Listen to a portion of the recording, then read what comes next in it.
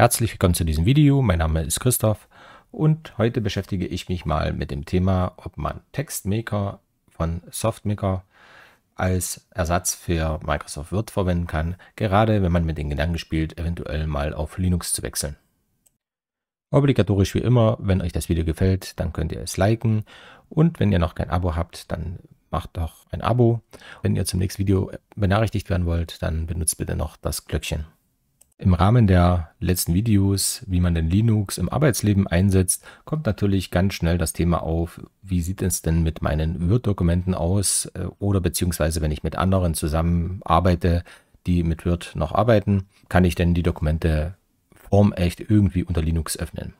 So, erstens haben wir ja unter Linux nicht nativ Microsoft Office zur Verfügung und das zweite ist, man will es ja auch gar nicht haben, wenn man denn den Wechsel zu Linux macht.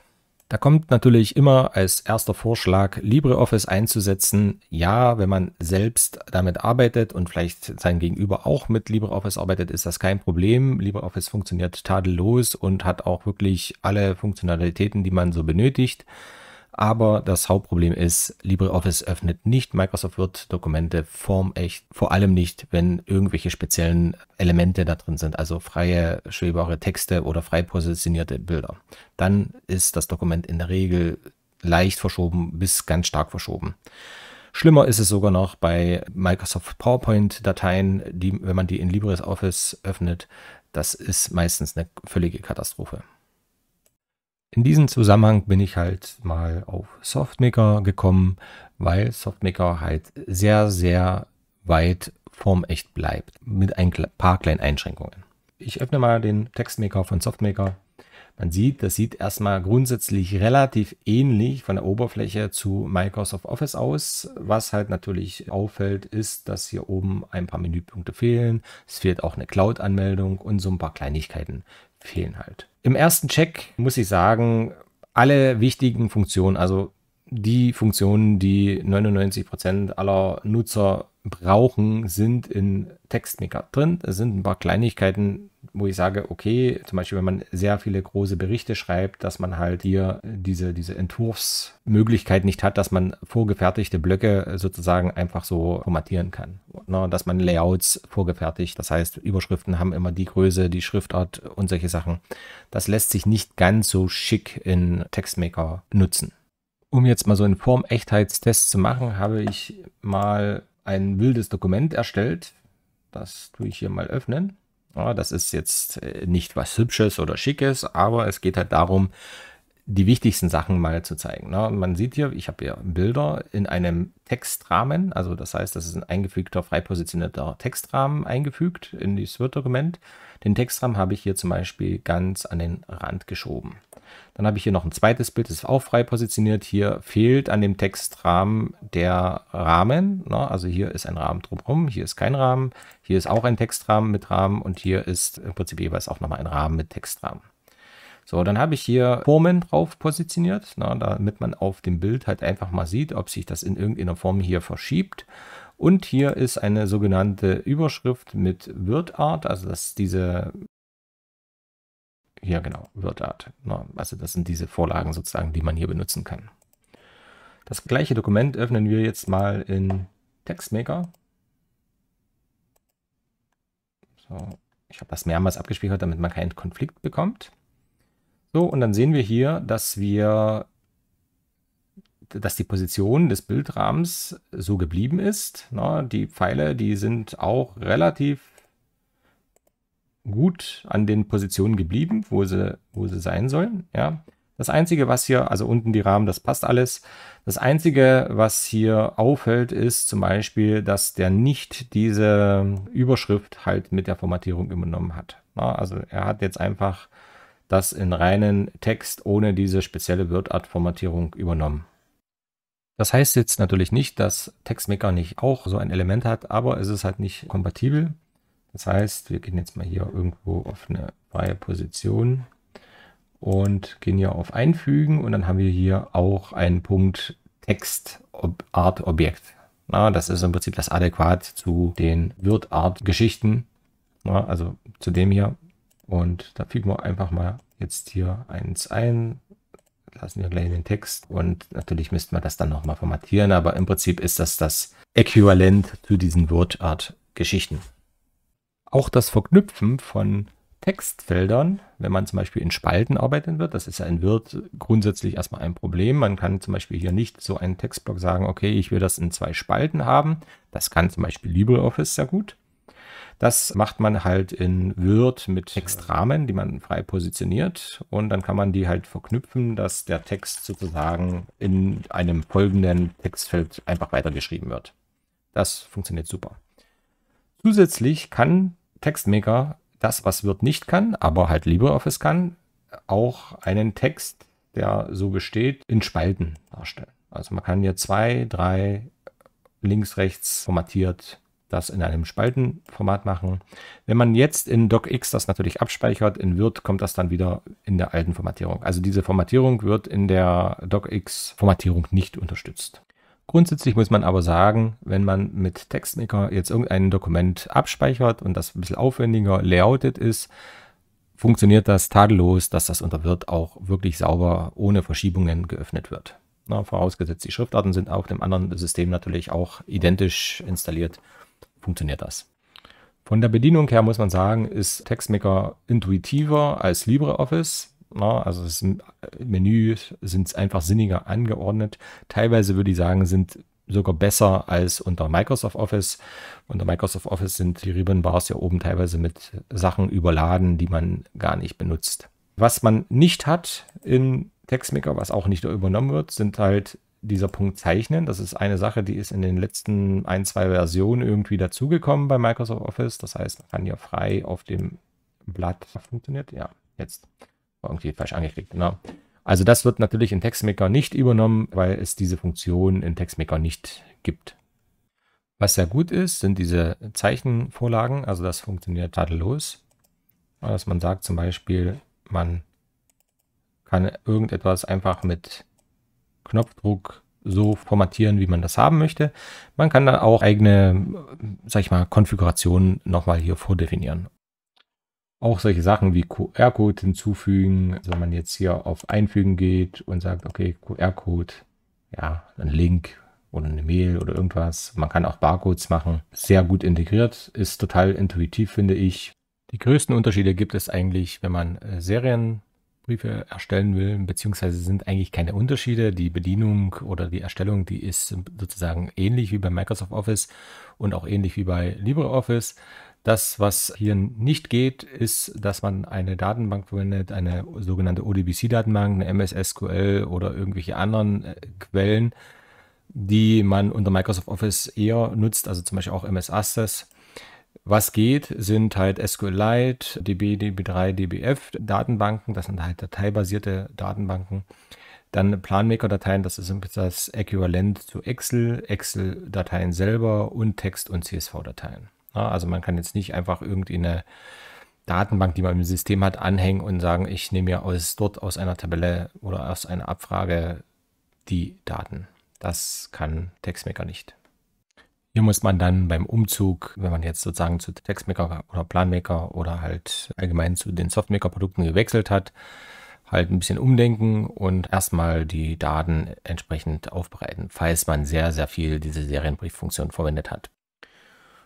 Positiv ist uns sehr aufgefallen, dass, dass der Textmaker wirklich sehr stabil läuft. Das ist leider Gottes nicht bei allen Office-Paketen immer so.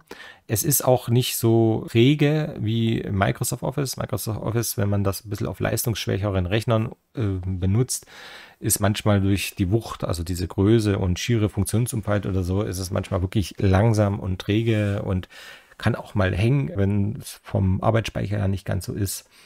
LibreOffice ist auch super stabil inzwischen, also und der Funktionsumfang ist auch sehr gut und man kann damit auch sehr gut arbeiten. Wie gesagt, da ist es wegen der Formechtheit ausgefallen. Aber wir haben auch viele andere Produkte uns schon mal angeschaut und meistens hat es uns dann bei der Stabilität halt geschockt. Na, also wenn man große Dokumente mit vielen Bildern drin hat oder auch bei Planmaker zum Beispiel, also oder, oder, oder Excel-Sheets oder so, die ein bisschen größer sind, da war die Stabilität ganz oft das Hauptproblem. Also entweder ist die Software hängen geblieben während des Arbeitens oder wir hatten das Problem, dass es sogar regelmäßig abgestürzt hat. Das war zum Beispiel so ein Problem bei LibreOffice früher auch, ist aber in den letzten, wir mal, zwei, drei Jahren in den Versionen dann nicht mehr so aufgefallen. Natürlich für einen Power-User kommt man nach wie vor nicht an Microsoft Office vorbei. Also gerade wenn man mit exorbitant verknüpften Dokumenten arbeitet, was sehr, sehr viele Referenten gerne machen. Oder wenn man zum Beispiel ein Analyst ist und halt Massendaten in Excel in irgendeiner Form auswertet oder so, da kommen alle Produkte, die wir bis jetzt getestet haben, bei weitem nicht ran. Das geht schon bei der Anzahl der Zeilen, die in einer Tabelle sein können. Anzahl der Spalten, Anzahl der Formeln. Da sind die Grenzen von den meisten Softwares relativ schnell erreicht. Bei Planmaker und Softmaker und bei diesen Produkten habe ich das noch nicht so ausgiebig getestet, aber in meinem Umfang, also die Sachen, die ich für mich verwende, die auch manchmal schon ein bisschen komplexer sein können, war es bis jetzt stabil. Als Fazit kann ich dazu sagen, wenn man jetzt den Schritt zu Linux wagt und sagt, okay, ich brauche aber ein ordentliches Office-Produkt, dann ist Softmaker Office auf jeden Fall ein sehr, sehr guter Kandidat. Auch wenn es jetzt nicht Open Source ist und auch nicht kostenfrei ist, würde ich das auf jeden Fall empfehlen zu nutzen. Da kommt natürlich gleich ein Aber von den eingefleischten Linuxianern, da ja Softmaker Office kein Open Source ist. Das ist aber nicht unbedingt für jeden die Prämisse, wenn er auf Linux umsteigen will. Die Hauptprämisse derzeit wird ja wahrscheinlich sein, dass dieser penetrante Cloud-Zwang, diese penetrante Nerverei mit Microsoft Office, mit der Cloud zu arbeiten und natürlich auch die aktuelle AGB, wo Microsoft sich einfach das Recht herausnimmt, alles auf dem Rechner analysieren zu dürfen. Ob sie es machen, mal dahingestellt, aber sie dürfen das laut AGB. Will nicht unbedingt jeder. Und nun kommen wir mal zu den Preisen oder zu den ganzen Versionen von SoftMaker Office. Es gibt auch noch eine kostenlose Variante, die nennt sich FreeOffice, aber auf die gehe ich jetzt nicht ein. Ich selber persönlich habe mir die SoftMaker NX Universal gekauft oder sagen wir mal gemietet, weil ich habe ja die große Version als Mietversion genommen. Im Prinzip gibt es zwei Versionen, die in einer Meet-Version laufen. Das ist dieses NX Home und NX Universal. Dann gibt es noch das Softmaker Office als Kaufversion, einmal als Professional und einmal als Standardversion. Preise sind okay. 130 Euro für die Professional. Da fragen sich natürlich viele, weil vom, äh, vom Programmumfang ist es ja im Prinzip wie ein Home and Student. Aber im Gegensatz zu Home Student kann man die SoftMaker Professional auf bis zu fünf Computern installieren. SoftMaker Office gibt es für Windows, Mac und Linux. Die Standard gibt es da auch. Die Meet-Versionen, die gibt es dann auch noch für iOS und Android. Die, äh, sage ich mal, der Funktionsumfang auf den Mobilgeräten, der ist auf jeden Fall besser als von den Microsoft-Produkten, finde ich persönlich zumindest. Auch die Bedienbarkeit finde ich besser der Funktionsumfang auf den Mobilgeräten ist im Prinzip kaum weniger oder eigentlich ist er identisch wie in den Desktop-Versionen. So, was haben wir drin? Wir haben einmal Textmaker, Planmaker und Presentation drin. Basic Maker ist, um Makros zu schreiben. Und dann haben wir die Rechtschreibprüfung in 20 Sprachen im Standard drin. So, bei den größeren beiden Versionen, das sind jetzt die mittleren, haben wir dazu noch eine erweiterte Rechtschreibprüfung mit Duden-Korrektor. Dann haben wir die Verknüpfung zu Online-Portalen, wie geht los mit Wikipedia oder halt spezielle Lexika oder Duden oder andere Sachen, die integriert sind.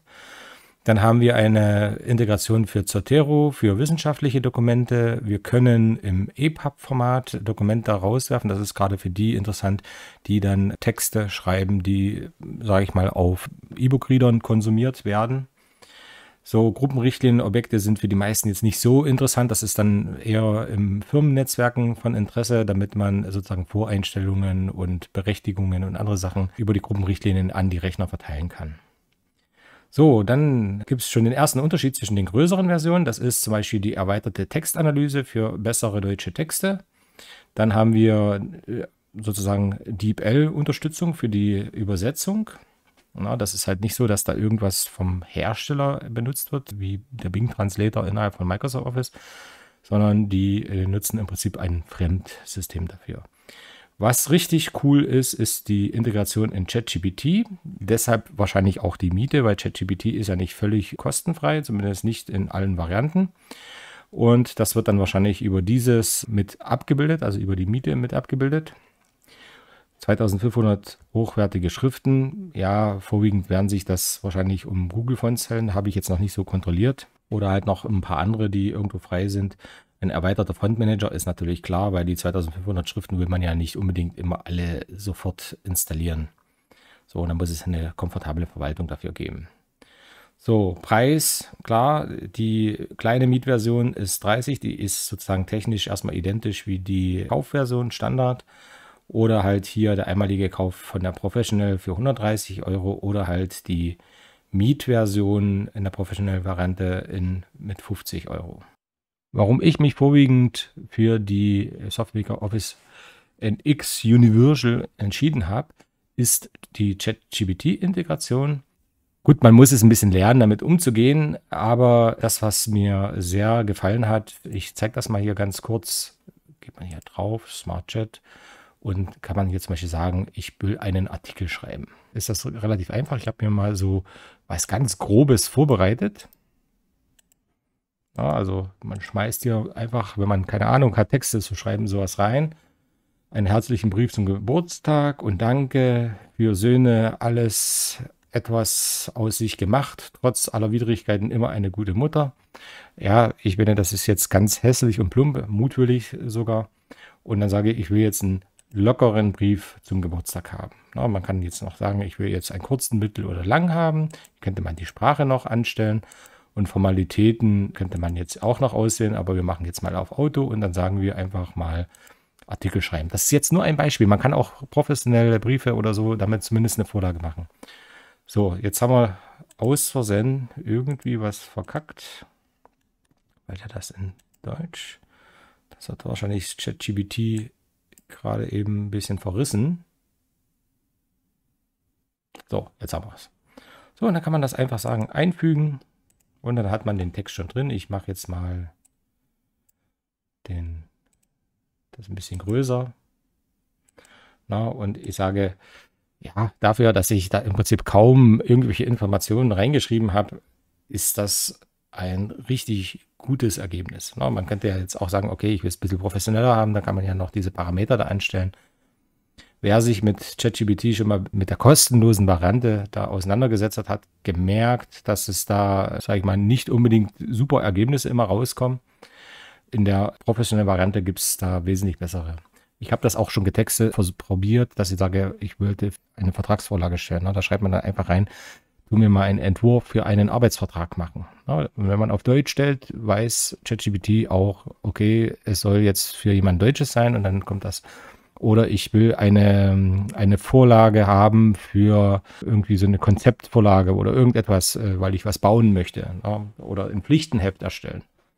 Dass man da immer noch nachbessern kann und vielleicht auch sollte, ist ein anderes Ding. Aber, sage ich, gefällt mir sehr gut. So, das war's nur für heute. War ein bisschen länger geworden, das Video. Länger als gedacht. Ich hoffe, es hat trotzdem gefallen. Über ein Like, ein Abo würde ich mich freuen. Und wie gesagt, das Glöckchen nicht vergessen, falls ihr zum nächsten Video erinnert werden wollt. Tschüss, bis zum nächsten Mal. Euer Christoph.